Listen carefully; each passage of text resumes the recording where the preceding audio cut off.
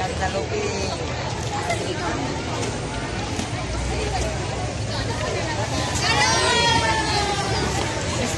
program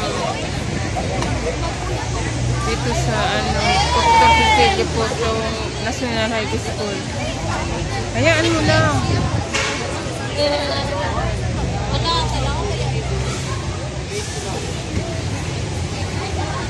Ito yung school ng anak ko.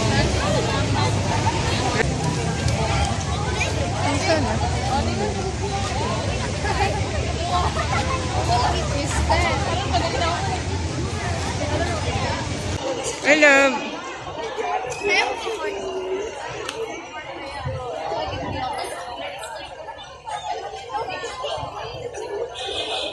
Bilaran City. Dr. Cecilio po itong National High School.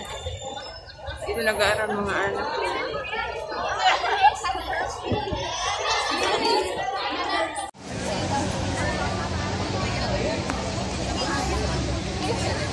Si Ma'am Babayag, Mayor Babayam.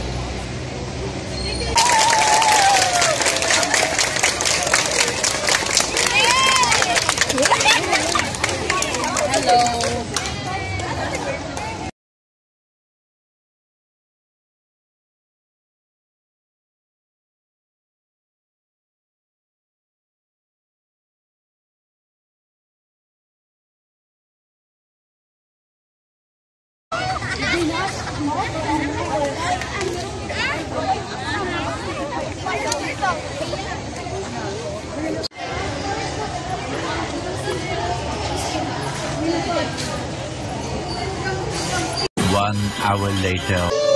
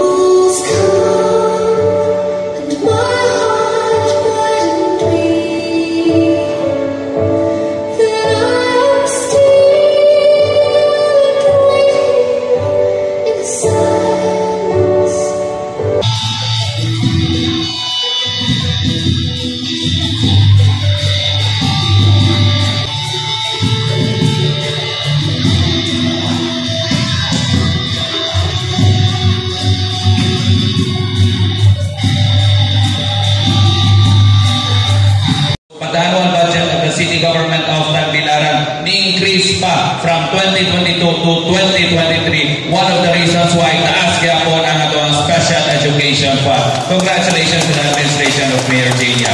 And as we said in Tagbilaran City, a sense of amor to God be the